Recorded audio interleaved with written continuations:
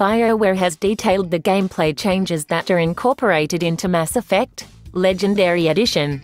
In a blog post on the game's official website, the developer has initiated a series of weekly approaches to the making of the Legendary Edition of Mass Effect. In this first article, it focuses on the stability of the gameplay. Regarding combat, BioWare has specified that they have modified the operation of precision, aiming assistance and sight to maintain a more consistent firepower in the first installment and make it closer to Mass Effect 2 and 3.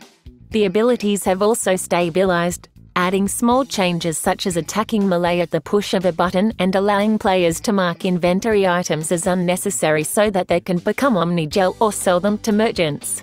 BioWare has again done some of the battles against enemies and squad members can be controlled independently, as was the case in later games. Throughout the trilogy, going in and out of coverage has been becoming more affordable, adding extra coverage in some encounters. The Galaxy at War metagame has also been balanced.